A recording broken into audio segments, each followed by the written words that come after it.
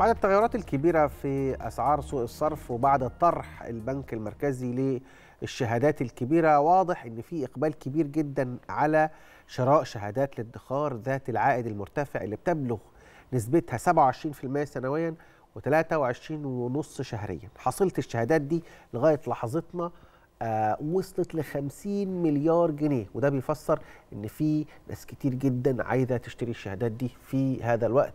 إيه هي الأوعية الادخارية الأفضل؟ لماذا لجأ المصريون لهذه الشهادات؟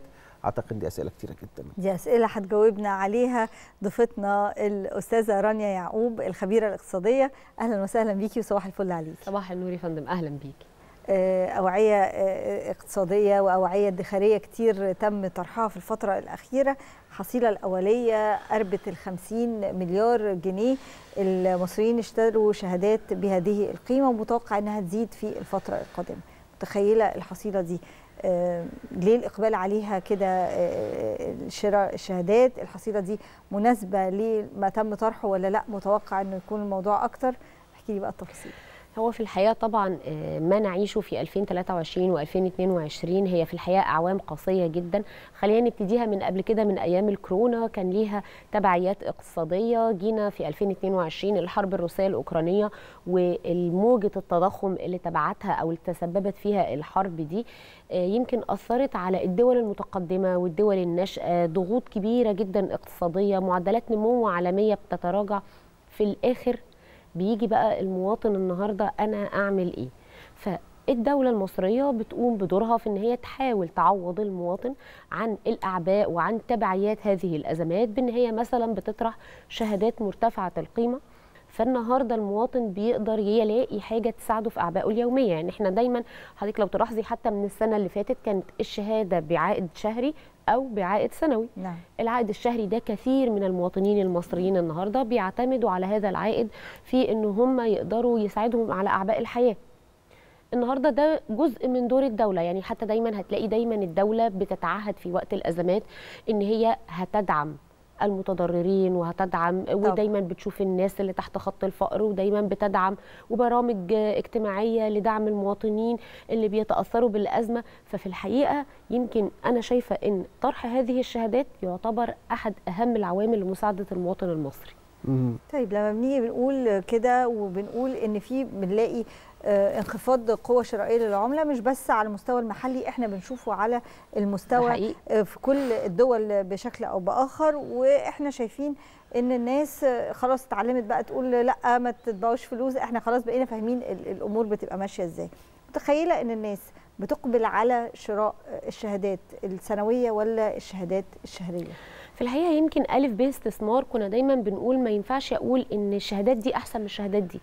دايما في حاجة اسمها احتياج للمواطن أو احتياج المستثمر سواء في المدة. يعني أنا النهارده ما ينفعش يجي مستثمر يقول لي أنا عايز أستثمر فلوسي في أصل ما لازم أسأله هل حضرتك محتاج الفلوس دي بعد قد إيه أو احتياجاتك الشهرية قد إيه؟ هل محتاجها بعد فترة طويلة؟ فترة طويلة دي بنقيمها على إنها ثلاث سنين.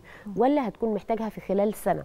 فبالتالي فكرة النهارده احتياج المواطن هي دي اللي بتحكم قراره الاستثماري في إن هو يستثمر في ده أو في ده. وخليني أقول لحضرتك على حاجة جزء كمان من الأموال اللي خارجة من شهادات ال 25 من المتوقع إن طبعا الجزء كبير هيروح ناحية الودائع البنكية وجزء آخر هيبتدي المستثمر أو المواطن المصري ينوع استثماره والأقرب إلى قلب المواطن هو الذهب. فدايما هنلاقي جزء المواطن هيحط ودايع بنكية عشان خاطر يغطي احتياجاته وفي نفس الوقت برضه الناس بتتعامل معاه زينة وخزينة في نفس الوقت. بالظبط كده زينة وخزينة مخزن للقيمة. مم. هو مخزن للقيمة للمواطن. وخليني أقول لحضرتك كمان على آليات جديدة. في مثلا شاب بسيط معهوش يجيب الذهب سواء سبيكة ولا جنيه أو أو خلينا بقى نتكلم على مستوى المواطن البسيط. النهارده الدولة المصرية يمكن والجهات الرقابية سمحت بإنشاء صناديق بتتعامل في الذهب. إزاي؟ في صندوق بياخد بي... تم الإعلان عن صناديق. النهارده المواطن يقدر يروح يشتري وثيقة الصندوق ده. الوثيقة بحوالي 10 حوالي 12 13 جنيه دلوقتي. النهارده أنا معايا 1000 جنيه وعايز أستثمر في الذهب. بس لازم أبقى عارف إن أنا وأنا بستثمر في الذهب الذهب استثمار على المدى الطويل. طب. مش هستنى النهارده سعر الجرام طلع سعر الجرام نزل. لا. فبيشتري هذه الوثائق وبيتعامل معاها بفكرة الجمعية. أنا كل شهر هحوش هروح بدل ما كنت بروح أعمل جمعية مع أصحابي وأجي في آخر المدة آخد المبلغ لا أنا النهارده هعمل جمعية هحوش وأشتري وثائق الصندوق واللي الصندوق ده هياخد فلوسي ويستثمرها في الذهب.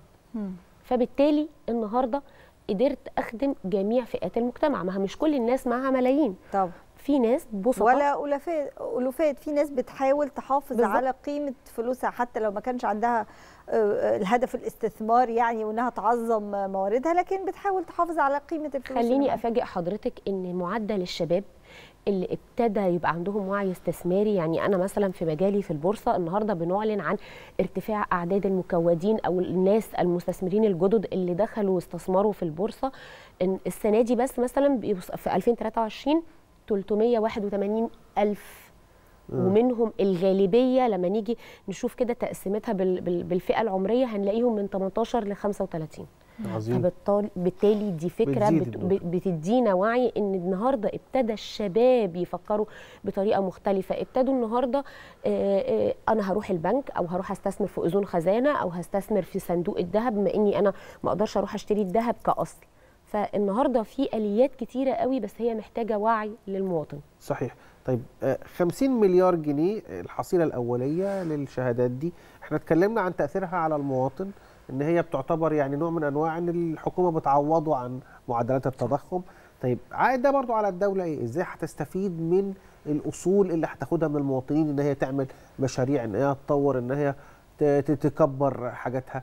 برضو ده سؤال بيطرح نفسه فيما يتعلق بالاقتصاد الحكومي هو في الحقيقة البنوك الحكومية اللي أصدرت هذه الشهادات بيبقى ليها طرق في إن هي تعيد استثمار هذه الأموال. طبعا معروف البنك جهة للإيداع والإقراض فالنهاردة البنوك برضو بتكون آه، بقى في وعي كبير جدا وفي مبادرات مهمة جدا ابتدت الدولة تتبناها والبنك المركزي دايما سيادة الرئيس كان بيتبنى هذه المبادرات لدعم المشروعات الصغيرة والمتوسطة ذات العائد.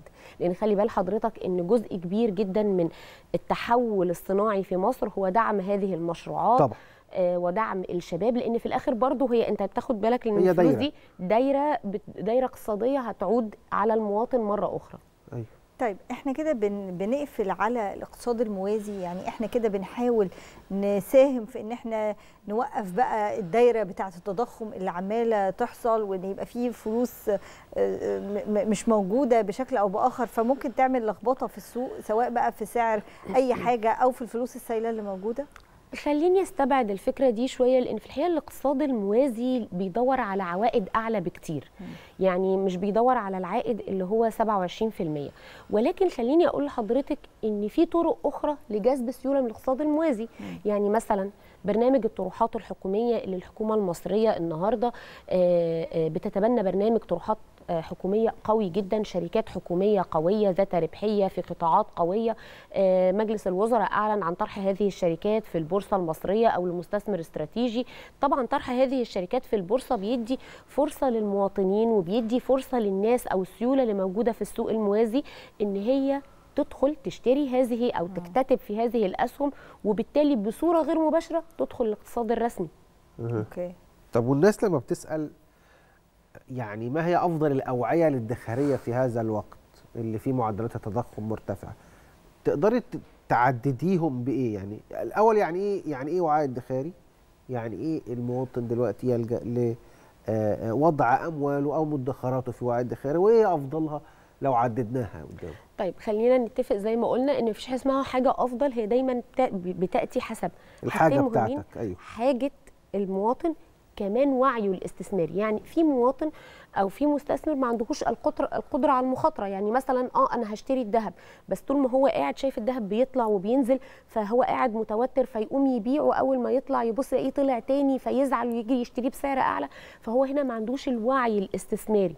الفكرة العامة خليني أقول لحضرتك من جهة العائد النهارده آه، آه، يمكن الذهب النهارده عالميا مش بس محليا يمكن إحنا عالميا متوقعين إن الذهب يحقق قمم تاريخية جديدة. ده بيرجع لعدة عوامل بقى زي الفيدرالي وقراراته في تثبيت الفايدة أو تخفيضها. صحيح.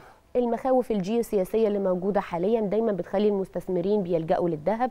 طبعا الودائع البنكية لأن دي أكتر ودائع بتكون آمنة ويقدر المواطن اللي هو ما عندوش زي ما قلنا وعي استثماري وفي نفس الوقت محتاج عائد دوري يلبي احتياجاته وده أمر يجب ألا يستهان به وده بيمثل شريحة كبيرة من الشعب المصري.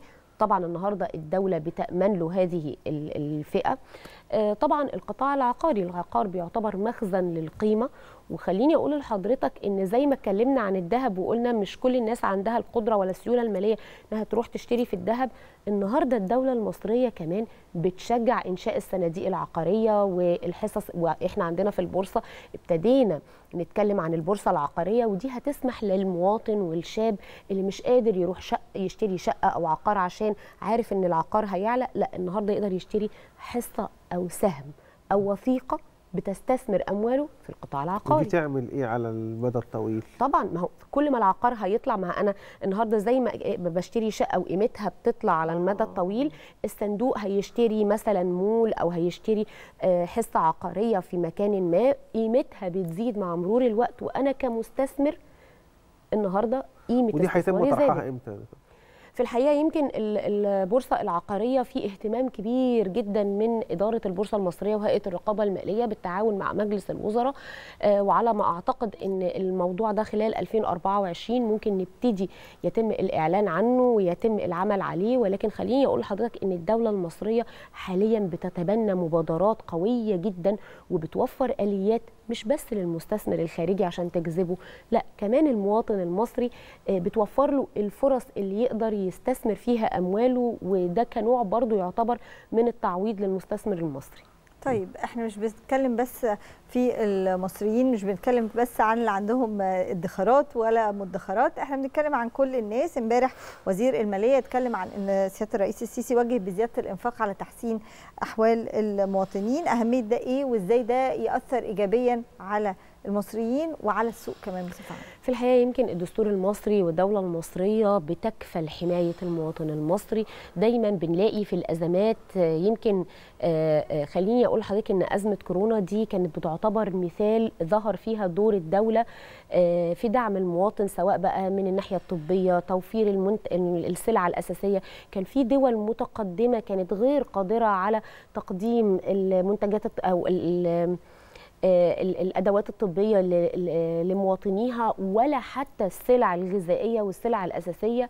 النهارده الدولة المصرية مع كل قرار بيبقى فيه توجيه من سيادة الرئيس بحماية المواطن المصري. النهارده عندنا برنامج حياة كريمة اللي بيكفل أكتر من نص تقريبا الشعب المصري وبيخدم منطقة الصعيد اللي كانت تعتبر منطقة مهمشة بصورة كبيرة على مدار عقود طويلة.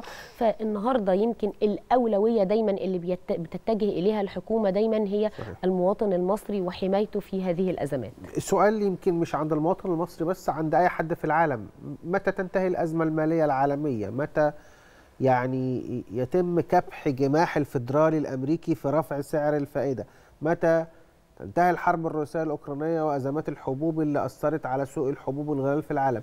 آآ آآ من أول 2020 والأزمات عمالة تك تك تك تضرب مش مش المواطن بس في مصر ده في أوروبا متأثر وفي العالم كله. طيب خليني أقول لحضرتك إن مفيش توقيت معين والأقوى من كده إن لو الحرب الروسية الأوكرانية انتهت غدا والفيدرالي الأمريكي ابتدى يخفض الفايدة غدا هل جميع دول العالم واقتصادياتها هتتعافى في نفس التوقيت؟ لا طبعا. بالطبع لا. ف يعني أنا بفترض افتراض صعب حدوثه. يعني إحنا دلوقتي إيه؟ يعني قبل الأحداث المؤسفة الأخيرة في غزة كنا بنتوقع إن عام 2024 هيكون بداية الانفراجة ولكن مع هذه الأحداث ومع دخول أطراف في هذه الحرب ومع تطوراتها بالتالي النهارده ابتدينا نشوف متغيرات جديدة على الساحة العالمية. فللأسف يمكن من الصعب الجزم إن في توقيت معين ولكن خليني أقول لحضرتك إن كل اقتصاد النهارده وكل دولة ابتدت تبحث عن الأمن الوطني. ابتدينا نسمع إن في بعض الدول زي الهند بتقول لك أنا مش هصدر الرز أنا مش هصدر القمح أنا يهمني أوفر الأمن الغذائي لشعبي. فابتدينا نشوف بقى في تكتلات زي البريكس بقى بالظبط ابتدينا نشوف المقايضة واستبدال نظام السويفت. فهتلاقي الفترة الجديد الحالية مش شرط إن الأزمات تنتهي ولكن هتبتدي تخرج حلول مختلفة. هتلاقي تجمعات اقتصادية تجمعات آه، الهدف منها حماية الدول مثلا الناشئه من الاقتراض بتكلفة مرتفعة لأن اكبر أزمة بتواجه الدول الناشئة حاليا هي مشاكل الديون. فالفترة القادمة هتلاقي فيه تحالفات وأمور كتيرة مختلفة هتساعد على حل الأزمة أو تخفيف الضغوط عن الدول الناشئة نتعشم الخير نتعشم إن العام الجديد إن شاء الله يكون بيحمل الخير. لمصر. وللعالم كله. كل الشكر ليكي رانيا يعقوب الخبيره الاقتصادية شكرا لحضرتك أهلا وسهلا بك. شكرا جزيلا ليك